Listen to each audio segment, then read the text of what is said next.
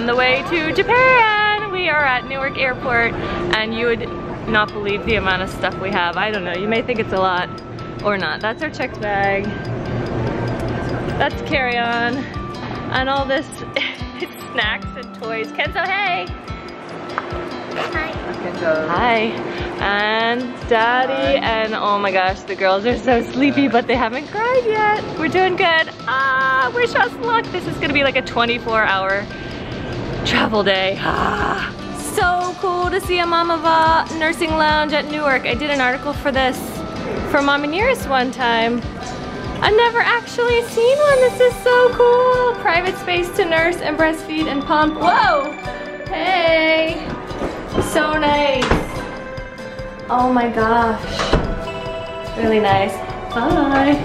And they've got a plug to plug your pump in. Hey guys, and sit down and relax. But we're not gonna use it because we are done breastfeeding. Let's go to the plane. Oh. It's 5.30. We haven't even boarded the first flight yet and we are like done. Ah. Oh, your new headphones?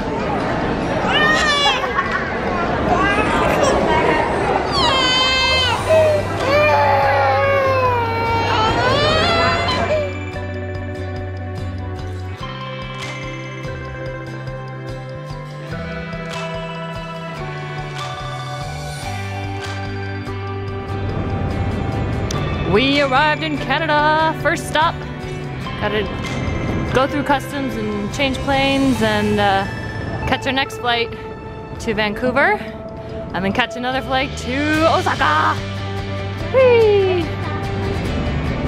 Where's Emmy? Mia? Whoop. She's got a baby up there. Got a baby. Back here. Whee! And the stroller. Karen. Let's go, Kenzo. We made it to Toronto and we are transferring to a flight to Vancouver. We had to go to through customs, but it was super fast and easy, like like two minutes. It was awesome. So now we're on a bus to change to another terminal or something, and we've got two sleeping babies. She's under there. And uh, Kenzo is such a trooper. How you doing, Kenzo? How was the first flight? Yeah, what are you doing? Trying to put on your seatbelt? You excited? Yeah. Where are we going? Where are we going? Japan. There we go. Going to Japan, but next stop is Vancouver.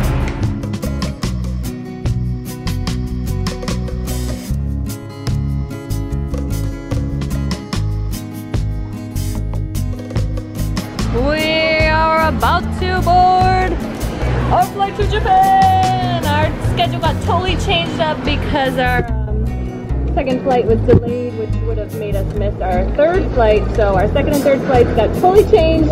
And our big long flight is now our second flight. We're going from Toronto to Haneda, Tokyo, and then a tiny little flight to Itami near Osaka. So this is like a 15 hour flight we're about to get on. Oh my god. Ah, here we go! We are on the flight to Haneda. We just got on. He's been awake for like 10 hours already. We got up at 2 a.m. He's so tired and everybody else. Emmy! We having snacks. Hey guys. We got a row of four seats to ourselves even though we only paid for three. Awesome! And we are gonna be going soon. This is a really long flight. I don't even know how long it is because we weren't originally booked for this flight. I think it's gonna be like 15 hours. What do you think? 15. But it's really nice and new. Air Canada, look at this. We have um, power outlets in each seat. So you're gonna go to town with the iPad. We're sharing a seatbelt. Conjoined twins over here.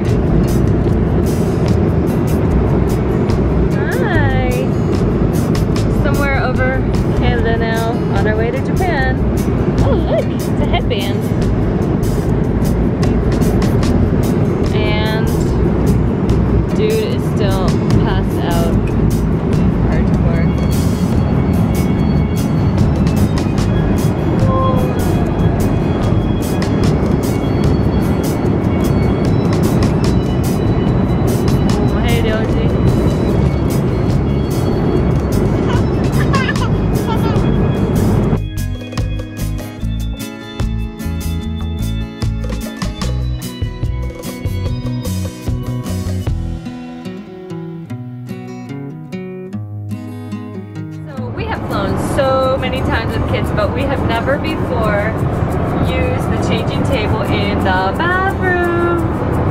This is our first time ever having poopy diapers on a flight, and this is our second so far today, woohoo! But this thing basically flips down. It's like stowed up here. You flip it down, and it's awesome! Hey, baby girl. You gonna sleep soon? Yeah. Hey, but it's like really tight quarters, see?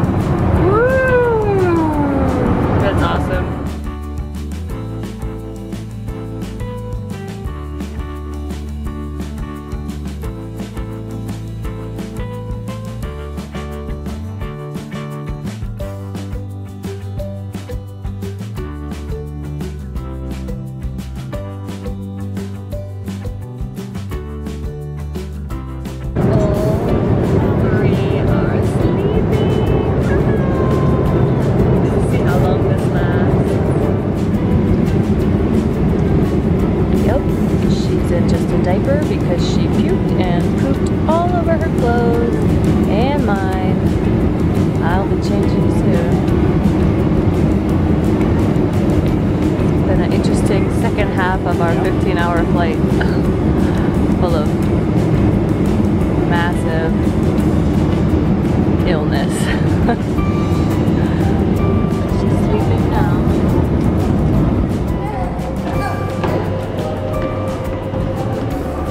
We made it to Japan!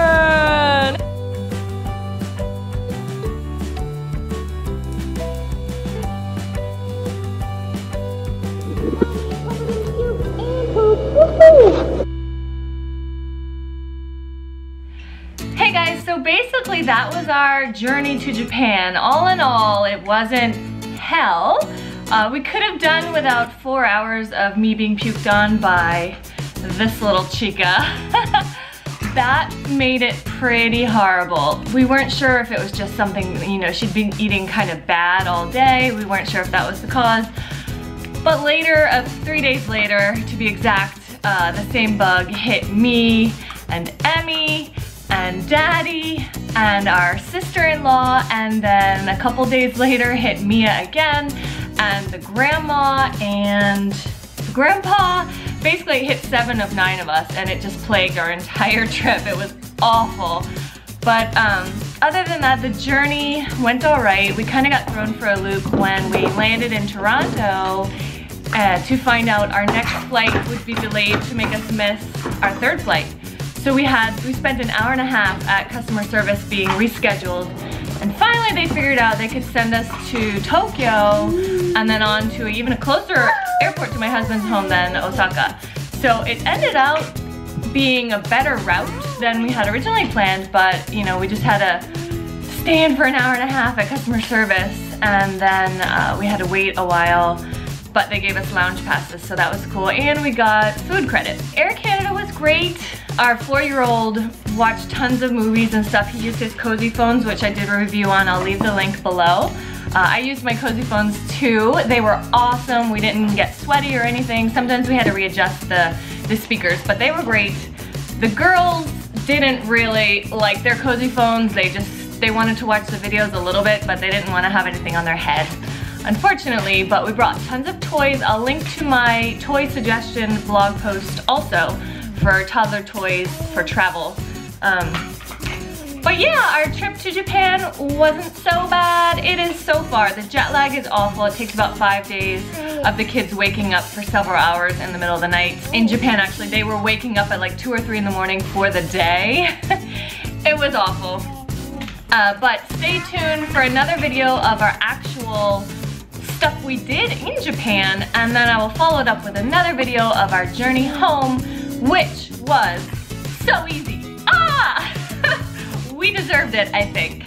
But anyway, thanks for watching, guys. Be sure to subscribe and like and comment and let us know what kind of epic travels you've done with your kids, what you recommend bringing, or tips and tricks and all that stuff. So, um, thanks for watching and stay tuned for more. Bye. Bye. Bye. Bye.